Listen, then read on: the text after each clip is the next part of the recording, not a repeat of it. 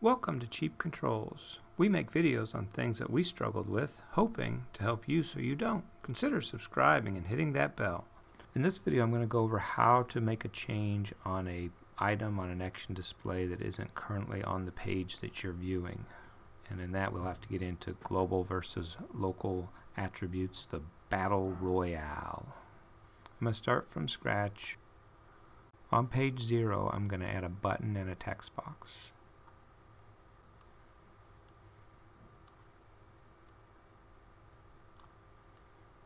Button we're going to go between what we're going to call page 1 and page 2.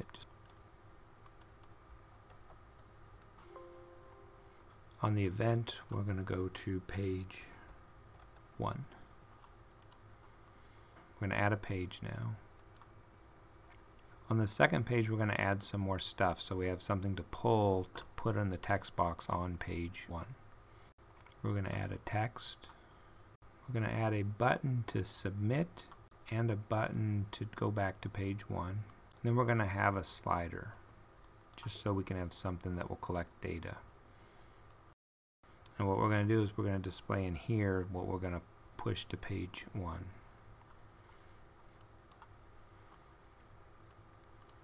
We'll call this one submit.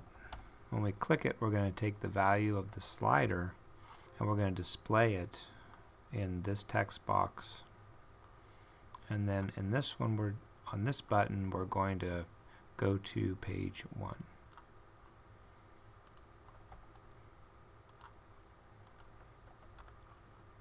for this we're going to go ahead and we're going to convert this value to this text whenever we click it.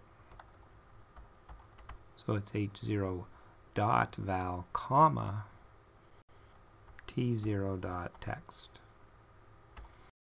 If you put 0 at the end, it will put the correct format in the text box.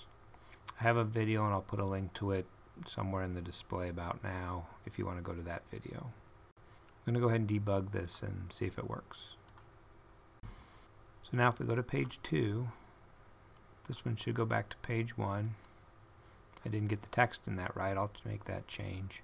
Then we'll adjust this up and we'll go submit and we've got it. Also what you notice is when we come back to page 2, the slider is back in the middle. See if I adjust it and I go to page 1 and I come back, it's in the middle.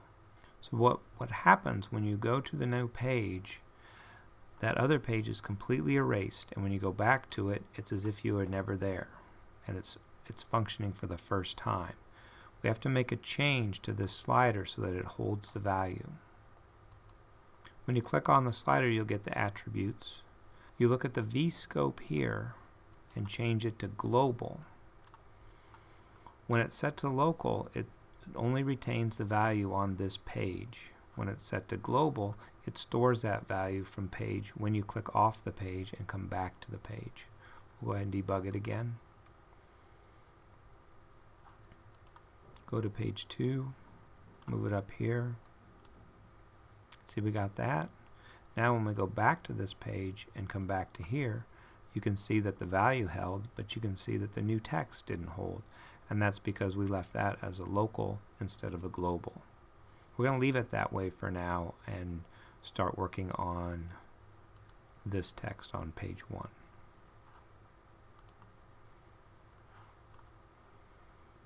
So on the submit, what you would do, we'll just copy this down here. If you go to page 0, it's T0 is the same as on page 1 T0. The way that you would go to is you would add page 0 dot T0. So now if we go and compile it, you're going to see that we get an error though and that's because this page cannot see page 1's T0 unless we make it global. So we have to go over here and make it global also, just like we did the slider. Now we compile and it makes it. So we'll go ahead and debug again. Go to page 2, adjust the slider, hit submit, now when we go back to the page it will say 92. It does.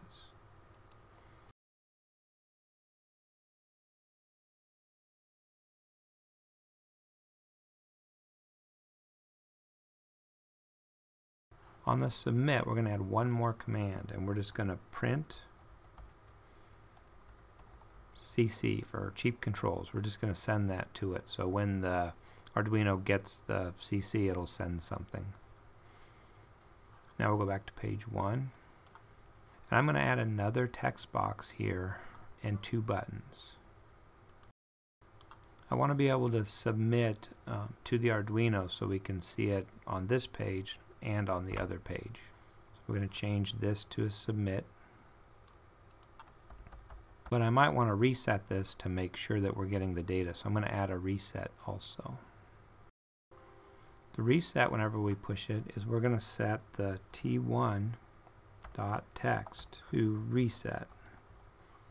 And on the submit, we're just going to print cc again.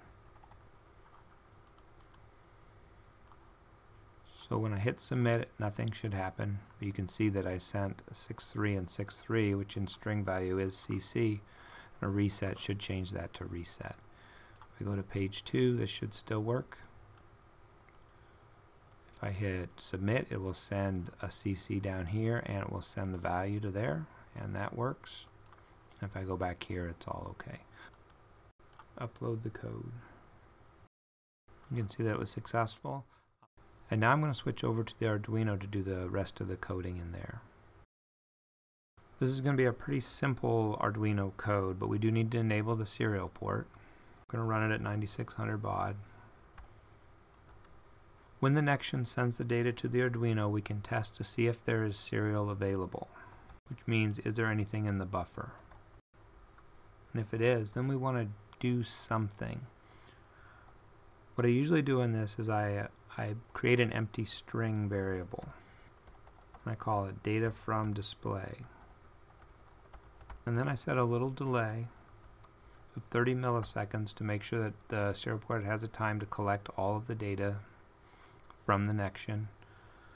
And then I cycle through the data that is being sent. I take each character as it comes in and then I just add it to the data from display string. In this case, I'm not doing anything with the data. I do need to em empty the serial buffer. And after I've collected the data, I want to send something out the serial port.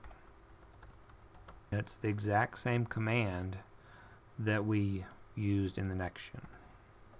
In this case, though, we're going to go to T1 instead of T0. We're going to use that other text box. You need the quotes around whatever you send. But using double quotes, or these quotes in here, is going to confuse the system. So you need to put an escape, which is a backslash. And that knows to send it as a quote rather than ending the, the string. And I forgot a quote. And then we have to finish it up with those a series of FFs. And you use write instead of print.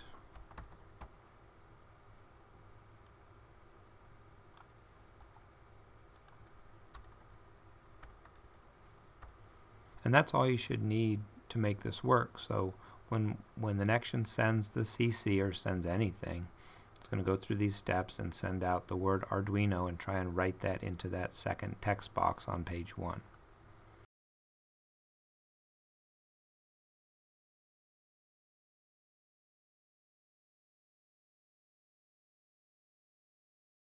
Open, I have an error. Yes, I forgot a parentheses. I forgot another parentheses. Now I got it. I'm sure the editor will have some comment for me. Okay, let's upload it to the Uno. It's not very clear, but we'll do some tests here and see if it works. Go to page two. Go back to page one. Okay, now if we adjust the slider hit the submit button, that works. Let's go back to page one now. and that worked. Oh, I forgot to hook up the wires, otherwise the submit should have changed that new text. Now when I hit submit, we should see the new text change to Arduino. And it did. If I hit reset now, now that should stay reset as I go from page 1. And then when I go back to page 2, or, when I go back to page 1 now, it should still say reset. And it says new text. Oh, because we did not set that up as a global variable. So I have a feeling that since it's not global, it won't work when I do the submit on page 2. Now when I go back to page 1, it did work. Hit reset again. Let's go back to page 1. Go back, new text. If I go back now, hit submit, go back to page. Oh, because I'm hitting submit. I'm going to go back to the Nextion code now and see what we have.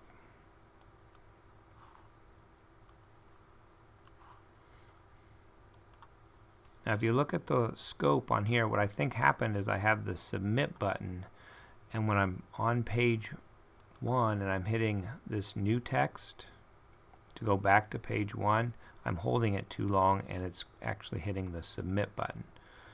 So we're going to switch these two buttons around and move them so that uh, I can't accidentally do that. So submit's on the same spot, but when I go to page one, I won't accidentally hit the other button and we're going to go to the this one and change the vscope to global.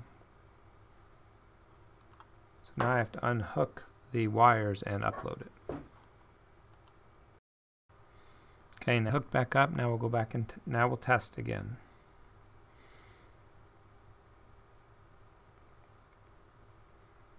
Go to page two, go back to page and reset held. We'll adjust this. We'll hit submit. Go back. And it says Arduino and everything held. Now let's hit reset. Let's go to page 2. Now when we go back to page 1, it still should say reset. And it does. So now it works just as we expect. To recap, this video was really over this command right here, this vscope, and changing between global and local. If it's set to global, you can see that attribute on every page. If it's set to local, when you go back to, when you leave the page and come back to it, it's as if it's brand new every time. Well, that's about it for this video.